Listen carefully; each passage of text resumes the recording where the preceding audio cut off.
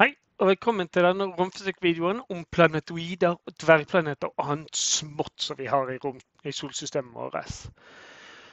Og vi skal begynne med det kanskje mest kjente av det små, hvis vi ser vekk fra Pluto, som en gang var en planet. Og det er asteroidebeltet. Asteroidebeltet det er et område mer enn liksom Altså et område i, verdens, altså i solsystemet vårt mer enn et sted, sånn som eh, planetene er. Og dette området det ligger da mellom Mars og Jupiter. Og Grunnen til at dette eksisterer, er mest sannsynlig fordi at Jupiter med sin enorme gravitasjon har revet og slitt i stykker da eventuelle planeter som kunne begynne å danne seg i dette området. Mars er liksom det innerste. Det kom langt nok vekk for å slippe unnslippe da Jupiters enorme ødeleggende krefter. Så skal det sies at Asteroidebeltet hadde nok ikke vært der hvis det ikke hadde vært for at Jupiter har beskyttet oss for vandrende planeter osv. Så, videre. så eh, det, ja, både, det, altså, det både er der av og på tross av da, um, Jupiter. Det største objektet i asteroidebeltet det er en dvergplanet som heter Ceres. Det er den som det er bilde av her. Ceres den er så stor at den, gravitasjonen har klart å avrunde planeten. Det er mer som en kule, sånn som planeten eh, er, fordi den er såpass massiv. Mm. Så kanskje dette hadde vært kjernen til, eller kimen til et ny planet hvis det ikke hadde vært for Jupiter.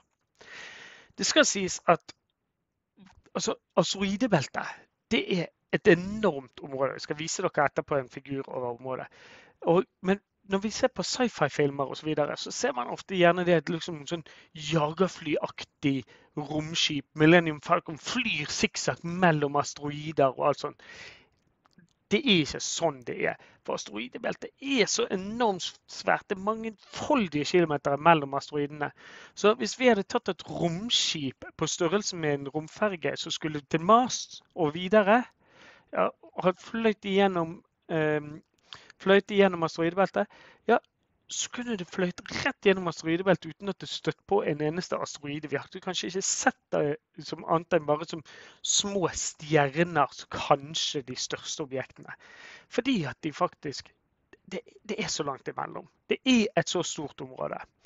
Det kan vi da se i dette hvite på dette, denne figuren her. Det hvite her, litt nærmere Mars enn Jupiter, det er asteroidebeltet. Men da går vi over til de neste tingene. Og det er trojaner og grekere. Dette er da sånne asteroider som ligger i da eh, Lagrange-punktene til Jupiter. Det er sånn ca. 60 grader før og etter, etter da eh, Jupiter, der er det punkter hvor det gravitasjonelt veldig stabilt. Og der har Jupiter klart å samle opp forskjellige asteroider, som da går i forkant og i etterkant av Jupiter i bane rundt solen. Så dette er da eh, akkurat, altså det er akkurat som da asteroidebeltet, bare at det er samlet og liksom følger Jupiter. I tillegg så har vi noe som heter Hildas. Eh, Hildas eh, asteroider. Det er asteroider som følger en slags trekantbane mellom L3, L4 og L5 til Jupiter. Altså disse Lagrange-punktene. Så går de sånne baner. Dette er bare mulig pga. Jupiters enorme gravitasjonelle eh, tiltrekning som gjør at det klarer å følge en sånn spesiell bane rundt solen. Eh, dere ser ikke grekerne. Grekerne de nederst her, som kommer litt utenfor skjermen, kommer navnet. Men dere ser så vidt eh, halen på grekerne. Eh, så det, de oransje prikkene det er Hiller-kometer eller Hilders-asteroider. Trojanene de er grønt. Så ser dere noe rødt her. Det er nær Eh, nær jorden-objekter. Dere ser òg at noen av disse grønne, altså trojanene og sånt, altså det er helt inne med sol òg. Det er liksom hvordan de oppfører seg, ikke nødvendigvis akkurat posisjonen om hva de hører til. Så dette er dette liksom masse av de spennende tingene som er. Så det er jo sånn at her ser dere hva som er litt problemet med denne definisjonen, hva som er en planet. For Pluto og Ceres de regner seg ikke som planeter, men dvergplaneter fordi at de ikke har rensket sine egne baner. Altså Midt inni det hvite her så finner vi Ceres, liksom. Eh, men Jupiter, ja, det har jo disse trojanene og grekerne sine. Har det rensket banen? Ja, har ikke det, sant? men det er litt vanskelig å definere her akkurat.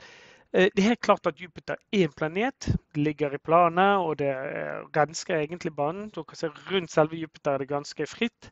Det er liksom disse gravitasjonelle, stabile punktene som det samler opp eh, asteroider eh, og planetoider.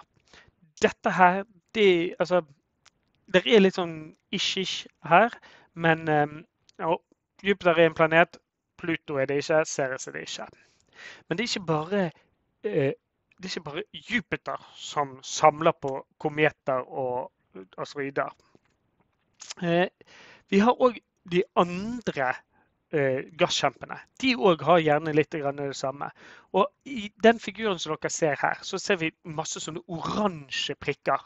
Vi ser, i, vi ser her da i um, lilla sant? Det er grekerne og uh, kentaur, nei, grekerne og um, trojanene. Så utenfor der igjen, så har uh, altså inni her disse oransje prikkene som er mellom Jupiter og Neptun hovedsakelig, det er kentaurer. Og Hvorfor heter de kentaurer? Jo, de vandrer liksom i dette området. Det er litt uklart. Er det asteroider eller er det kometer? De har litt av egenskapene til begge deler. Derfor så kalles det kentaurer. Altså da, denne greske mytiske skikkelsene som var både halvt hester og halvt mennesker. Sant? De er halvt kometer, halvt asteroider. Så dette er kantaurene. De er i hovedsakelig området Jupiter til Neptun. Litt utenfor, litt innenfor. De vandrer der. Det er litt vanskelig å få grep på hva, akkurat hva de er. Men ser dere denne grønne skyen utenfor der. Da må vi gå videre til neste. De transneptunske objekter og Kupier-beltet. Dette grønne det er Kupier-beltet. Det er da igjen et slags sånn asteroidebelte. Men nå har vi brukt asteroidebeltet. Nå heter det Kupia-beltet for å liksom skille disse fra hverandre. Det er en type asteroidebelte. De er mer asteroider enn da eh, disse kentaurene. Eh, men transneptunske objekter, vel, det er disse store objektene som vi har utover i solsystemet, som dere gjerne har hørt om. Pluto, f.eks. Vi har bilde av Pluto her. Nå er det en dvergplanet. En tra transneptunsk eh, dvergplanet. Dvs. Si utenfor Neptun. Det følger ikke, ikke det romplanet som vi altså solplanet som vi har, solsystemets plan. Det er på, litt på skrå, det er ganske elliptisk bane. Det går ofte utenfor, eh, utenfor Neptun. Den er så stor at det ble jo lenge vurdert altså regnet som en planet. Nå er det en dvergplanet. Har jo til og med fanget egne måner, er runde osv. Men det er ute i dette området hvor det er så mye som ikke er rensket opp, og som går i de forskjellige baner andre som transneptunske, det er jo uh, Arakoth. Altså det, denne her, Dere husker kanskje denne snømannsplaneten som de fant. Ult, ble lenge kalt Ultima Thule. Nå har det fått nytt offisielt navn. Det var liksom to objekter som var sto, to rundinger som liksom hadde kysset hverandre så vidt sånn du så ut som en snømann. Den ene kalte vi for Ultman, den andre for Thule. Og de gikk i en bane der. Um, da New Horizon-proben den besøkte da Ultima Thule, eh, eller da Arcos, på veien utover eh, og ut av solsystemet. Vi hadde mulighet etter å besøke Pluto og til å besøke et objekt til. De styrte inn der og så på det. Det var fantastisk interessant. Det er f.eks. ting om eh, som minner om biologisk materiale og sånt som er der ute. Det, man kan si kanskje det proto-liv, Altså det som er før-før-liv. Det er antydning til at kanskje noen av disse tingene her kan ha gitt opphav til da selvreplikerende eh, eh, molekyler som da ble til slutt til eh, liv veldig mye interessant. Det, dette er det ting som vi finner ute i disse transneptunske objektene. Men solsystemet stopper ikke der. Utenfor dette, utenfor det transneptuske, der kommer vi til ortskyen. Og da må vi ta oss og spole Hvis vi ser helt oppe til venstre her, da har vi ortskyen. Det er liksom en så stor sky, en ball som liksom innhyller da hele solsystemet. Vi ser hvordan det er liksom en, en skive. Det er da denne her solsystemskiven. altså det, det, det planet som ligger rundt ekvator på solen, som de fleste planeter altså planetene hovedsakelig ligger i, og de fleste objektene faktisk ligger i det planet. Men Ortskyen er en sky rundt hele solsystemet. Og For å si litt om hvor hvor svær denne skyen er. Da kan vi se hvis indre solsystemet innenfor Jupiter der. Der ser vi liksom det gule med eh, Mars, jorden, Venus, Merkur innenfor asteroidebeltet. Jupiter med sine kentaurer og nei, med sine trojaner og grekere. Så har vi det ytre solsystemet, de andre gigantene. Kupierbeltet som er rundt sånn mellom dem med Pluto og eh, Pluto og Neptun utenfor der ligger liksom som et asteroidebelte, ikke like tett, enda mye større. Så kan vi gå ut og kan vi se på Sedna. Sedna er et sånn transneptunsk uh, objekt. Det er en dvergplanet med en veldig, veldig, veldig um, oval bane. Altså Vi ser hvordan banen altså Når det er på sitt nærmeste, ja, da er det like langt utenfor Neptun Pluto og Neptun som da Pluto og Neptun er utenfor solen. Da på nærmest så fyker det langt, langt, langt utenfor. Og vi er mye lenger utenfor der igjen. Da kom, ser vi innerste delen av ortskyen. Da skjønner vi hvor langt, langt ute det er. Og altså Dette er en gigantisk skall som er da alle sånne småplukk som vi klarer knapt å se det fra jorden. Vi ser av og til kanskje sånn heldig kommer akkurat riktig. Så det, vi har så mye å finne ut av om hva som foregår der ute. Um, og utenfor der igjen, da kommer vi til heliopausen, altså der som da solsystemet virkelig stopper. Der solens påvirkning på verdensrommet utenfor solsystemet møter liksom disse inn intersolsystemsvind og alt sånt gasskyen der ute. Altså der det, ja, det er heliopausen der ute. Altså det, der solen stopper.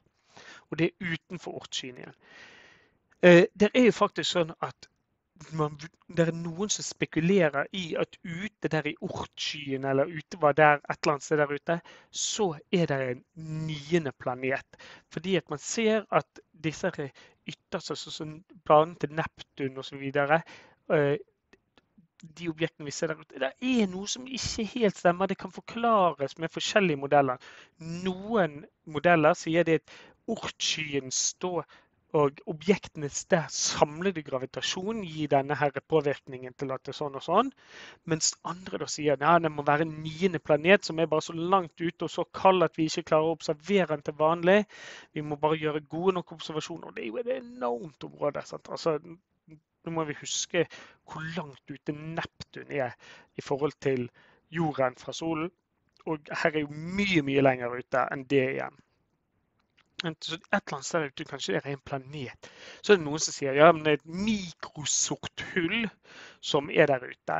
Og det er derfor vi ikke ser det i det hele tatt. For et sånt mikrosort hull det vil jo altså det vil sluke så lite masse at det har ikke så mye indirekte lys som kommer fordi at det er der.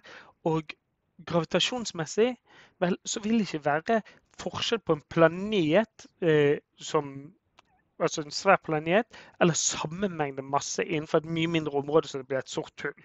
Så det, der er noen som spekulerer i det òg.